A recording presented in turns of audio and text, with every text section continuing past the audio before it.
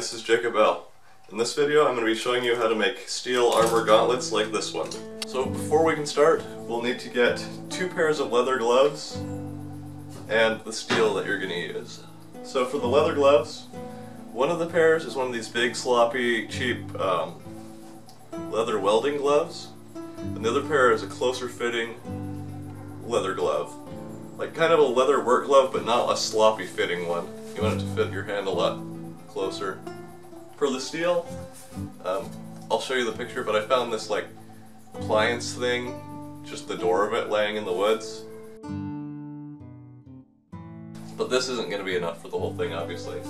So, this sheet steel drawer, which I think this will be enough steel for the whole thing. It's quite a bit right here, you can see. And the thickness that we're looking for is about 16 gauge. It can be a little thinner than that. Um, so I'm not sure millimeters, I'll write it on the screen. You're going to need to get the plans and print them off and glue them onto some hard cardboard or some thin plywood or something to make the templates. So get all of your templates made and cut out. That's the first thing to do. Once you have that ready, we're going to need the number one and number five pieces. These number one pieces form into the finger segments, and the number five pieces are the fingertips.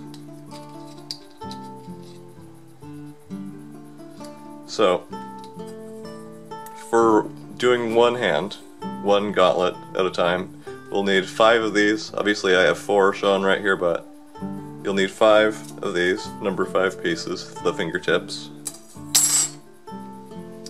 and 38 of these number one pieces, but some of them are different. I'll show you a map of how they're different. So this is the finger segments map. It comes with the plans. Download. So this tells you how many of each kind you need. So basically, you don't have to cut them all out full size. Some of them you can leave off one of the wings here, which these are the things that come down to protect the side of your finger. So some of them are full, both sides needed. Some of them, you just need one side, and some of them, you don't need any of the wings on the side. So the totals are 19 with both wings, 8 with one, and 11 with no wings. The point of knowing this is so that you don't have to cut all of them out full size. You can save steel and save cutting time and not have to cut. What I mean by that, to clarify, so you can see, um, like on this finger, since this finger is out on the end, it has these going most of the way down, you can see these, it's this column here, this entire side has wings sticking out, but on this side, on the inside, see if I can get an angle where you can even see, it comes back to a certain point, and behind here, there's still three more plates, but there's no more wings on the inside. And this is to allow um, the soft part on the inside of the finger to, to fit nicely so your fingers aren't pushing each other apart like that. Just lay the templates on the steel, start tracing them out. Just like that. I was able to get all the segments for one finger onto a couple of scraps here. So now I'm just going to cut these out on the bandsaw.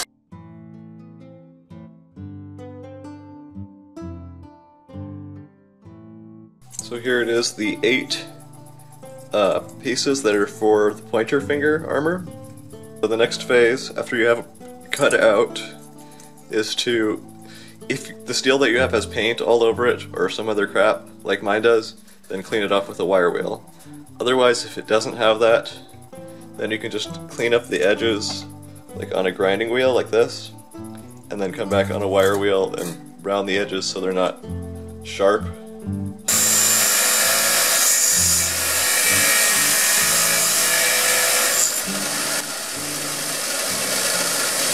Once you've got all the surfaces cleaned, for the next step is to bend the centers. So on each one, this one already has a bend in it, but that's not supposed to be there, that's just from how the metal was when I found it.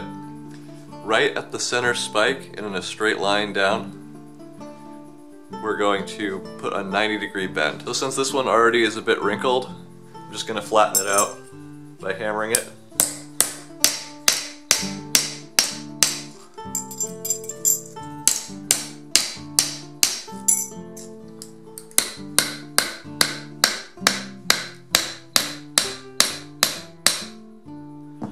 Seems good enough. Now in the vise, we're gonna put this in right up to this center spike. Up to there. That's gonna be our like our dividing line, a straight line, imaginary, down from the spike, straight back. And you're gonna have to just kind of eyeball this, or if you really want, you could draw in a line.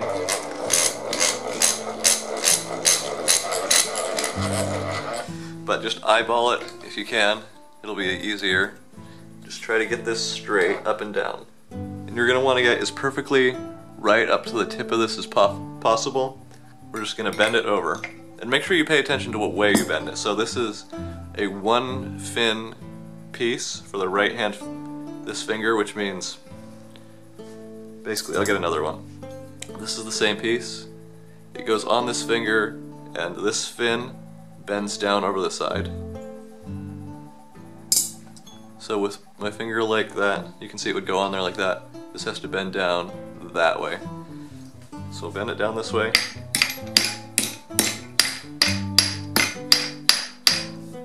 If you get it backwards, then you can probably end up using it on a different finger. When you're hammering, try to get the hammer impact close to this edge so that it bends right on the edge and not, you know, out here somewhere. Then once it's over, you can just do a few straight down hits like that. Alright, it looks good, so we'll pop it out of there. You can see we got a nice, almost exactly 90 degree bend. So we have all of these bent over, including the fingertip piece, also bent 90 degrees at the center. The next step is to drill two holes at the rear of each piece. Um, the size that I'm using of drill bit is 9 64ths of an inch. I'll put on the screen the size in inches and millimeters. Um, and you can see just two holes at the back there. You want to leave a little bit of space from behind, a little bit of space from the center, and this is just going to be where we're going to uh, put a rivet through. It doesn't matter exactly how much space you leave, as long as it's about like that, it'll be fine, because it's just going to be riveting it to leather, and there's no precision required as long as everything fits and lines up. Including the front one. Also drill two holes on this front one.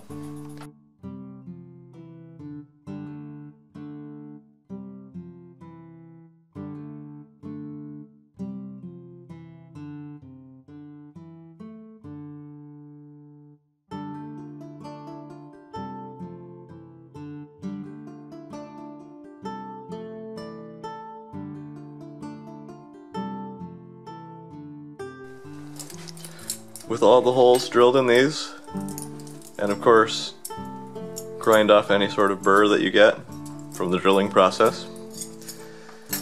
We now have to uh, start getting our leather strips ready. So with your extra glove, your big heavy one, we're going to want to cut off, in my case I'm just going up to this line, but you're going to want at least probably four and a half or five inches of like wrist tube section of the glove back here. So I'm going to cut five inches off.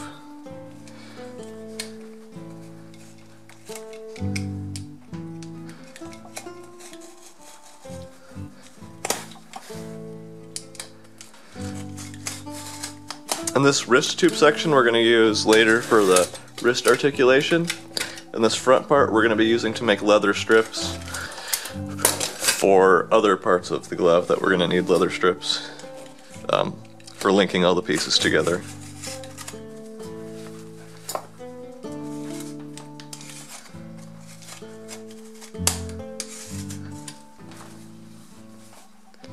And set that aside. And on this, you're just going to want to go along and cut all the stitched seams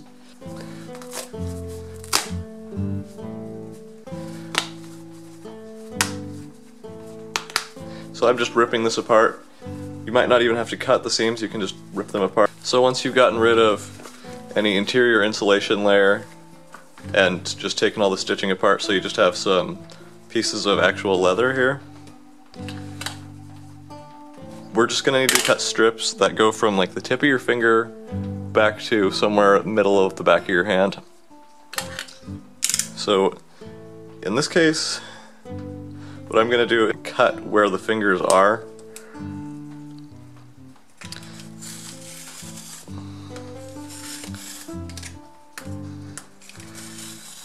And just use the whole thing. Because we still have the rest of this that we can use for other parts. Taking just one of the fingers, um, we're gonna start with this finger, just the main finger I guess, because that's what I cut the steel pieces for. Um, basically, we're just going to rivet all these onto the back of the leather. That's the short description of what's going to happen next. Before that, there's only one thing that we have to do, which is take the front piece, which can be, it can be any of the two wing pieces for the very front one, plus this other fingertip piece, part number five. So part number one and part number five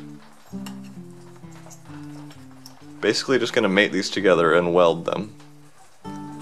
To get these ready to weld together, first we have to take this, this piece and bend the wings down so that they point straight down. I'll show you what I mean.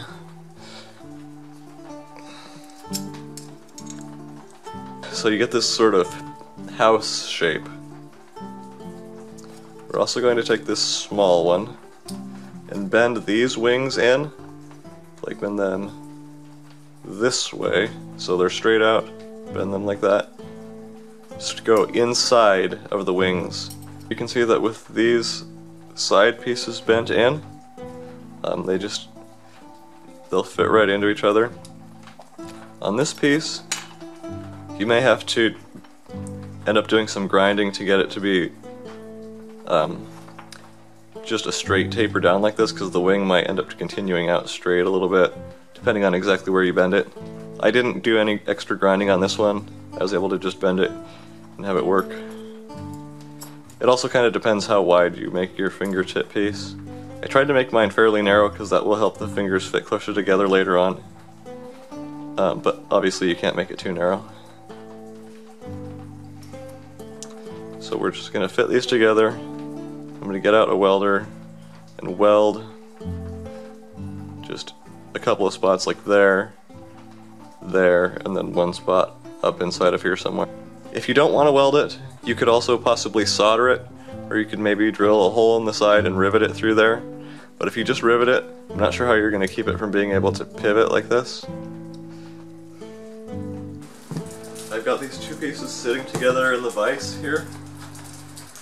So I'm just going to weld them, a couple of tack welds, and then let it cool off for a little while.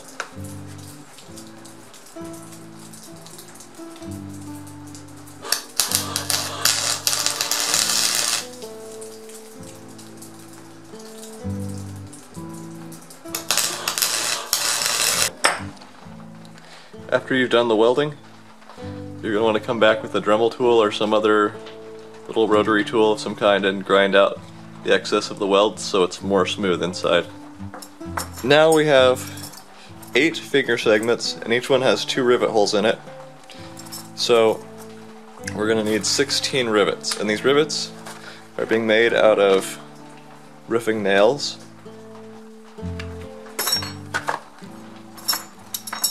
What I'm going to do is just put them in this wire cutting tool, find a hole that works, and cut them down a lot shorter.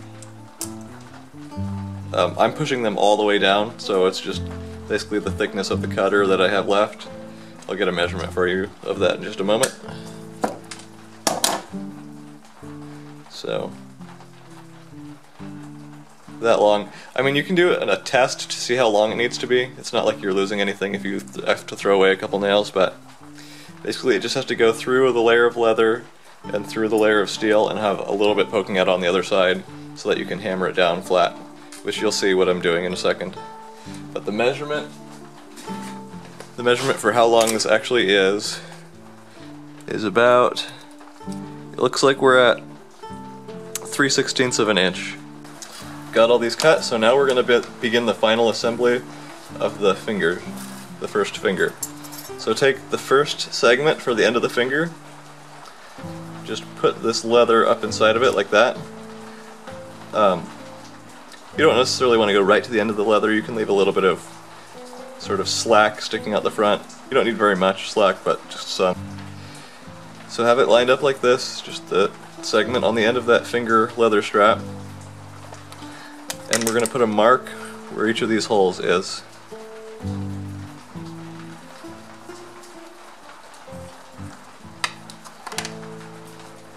And into those marks, we're now going to take one more sharp nail, just hammer it through each of these marks. So this is how you punch the holes. And then with the nail still stuck in the wood, lift up on the leather, just kind of drag it up and down on the ridges of the nail a couple times. And then you can just pull the nail out, move on to punching the next hole. And you can line it up with the same hole in the wood if you want, or don't bother, either way.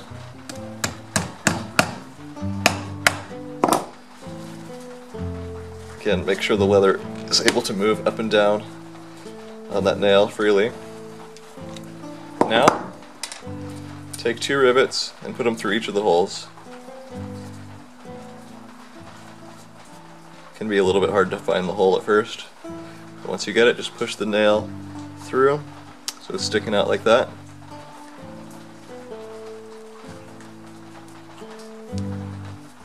Okay. Now we're going to push these two rivets through the holes in the steel of the finger segment. I'll try to keep my fingers out of your view as much as possible, but I do have to have my hands right in here in order to actually do this. Both of the rivets sticking through. You need to find a place on your anvil or you know vise or whatever you can use as an anvil where you can rest the underside head of the nail and hammer this on here. Make sure the back of the nail is resting against something solid with the regular hammer. Just hammer this on. Here's a better close-up view of the riveting process. I'm doing this on the second finger segment because it was really hard to show on the first finger segment, but so you've got the uh, the back of the nail, the head, resting on a hard, flat steel surface. Without smashing your thumb, just take a nice flat face hammer, start start pounding it.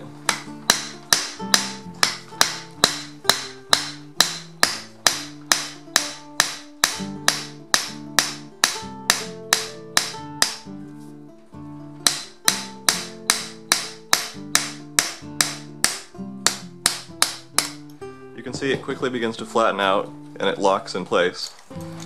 And once it starts getting a lot more flat, you can come in and kind of hammer at angles around the edges to get the edges all the way flattened down. But for these finger segments, you want it to be really flat so that they fit together nicely.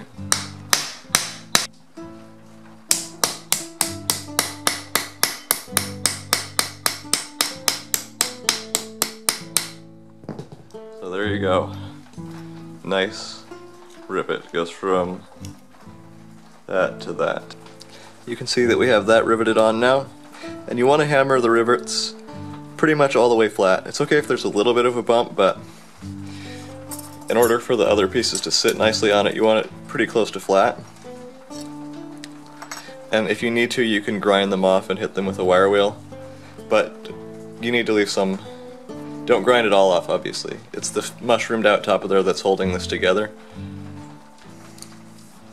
So once you've got the first one on, just repeat with the second one. And how you know where to position it is just go back to where the wings, the wing parts of it, are just going to be enough to overlap just a tiny bit.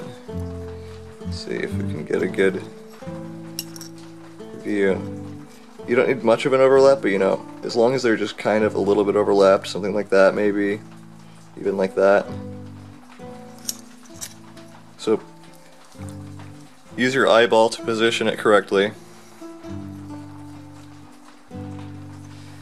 And then repeat the process, mark the holes, and rivet it in place.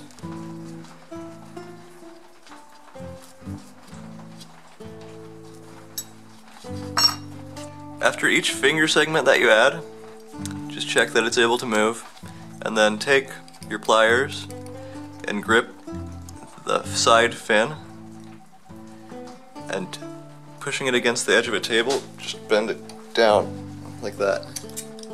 Um, you'll have to do a, a couple bends to get the angle right, probably, or you might just get it really easy.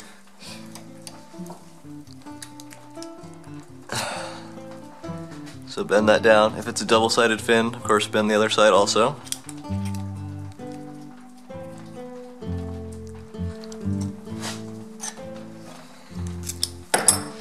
Okay, so now you've got both sides bent down, and you can see that now they kind of drag on each other a bit. That means that I bent it in too far. So what you can do here is either pinch the front one, which is what I'm going to do with this case, or you can you can either bend the back one out a bit, or you can just take it and twist it like this so that the front comes out but the back goes in a little. You can see by pinching the front one a little narrower, they now move nicely against each other.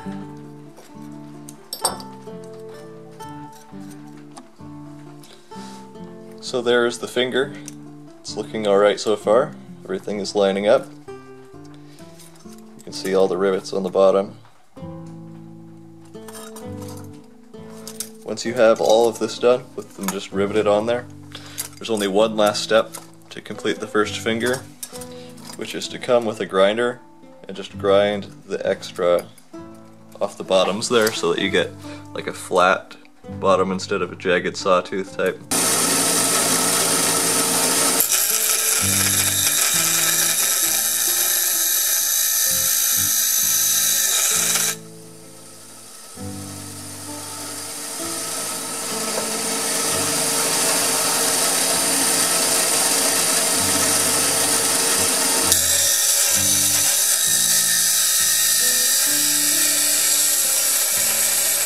It is. Once you've ground those edges and then smooth them off with a wire wheel so they're not sharp, um, you have your first finger completed. So pretty soon you can make all the rest of the fingers and then in part two of this video series I will show you how to make all the rest of the hand pieces and maybe the wrist pieces. The wrist pieces might be part three.